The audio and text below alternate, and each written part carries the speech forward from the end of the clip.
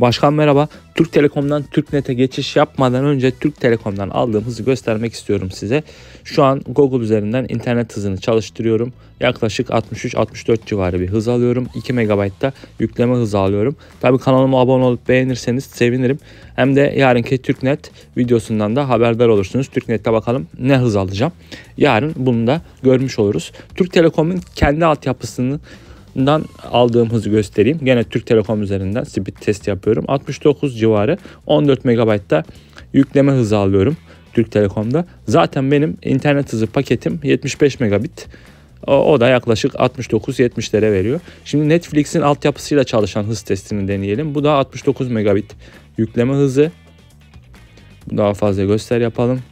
Ee, 11 yüksüz, 58'de yüklü gecikmesi var. 12 MB'da yüklemesi var. Gayet işte 75'lere yakın bir seviyede veriyor Türk Telekom. Şimdi bu da NetSpeed Speed testin gene alt tarafında e, altyapısını kullanarak hız testi yapan bir site. Burada da bir testimizi başlatalım.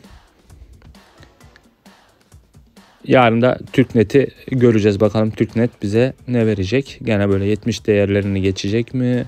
İşte vaat ettiği gibi sınırsız bir şekilde altyapımı ne destekliyorsa o hızı verecek mi vermeyecek mi onu görmüş olacağız. Şu an Türk Telekom'un verdiği hız 70'lere yakın. Yüklemesine de bakalım.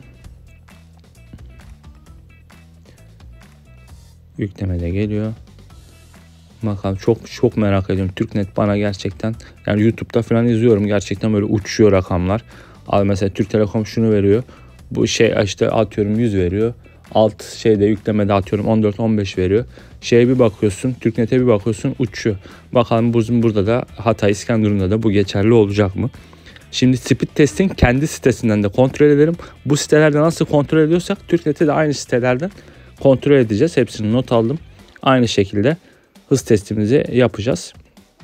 Bu da speed testing kendi sitesinde de 69 civarı bir hız alıyorum. Yükle şey indirme hızı. 11 ee, milisaniye gecikmesi var. 74 yüklü. Ee, upload'da yüklemede 193 gecikme süreli 14-15 MB'lara yakın bir yükleme hızı sunuyor. Umarım video faydalı olmuştur. Yarın TürkNet'e testinde görüşürüz. Kendinize çok çok iyi bakın. Allah'a emanet olun. Bunlar bilgisayardı. Şimdi bir de PlayStation 5 üzerinden hız testini görün. Görüşürüz. Bay bay.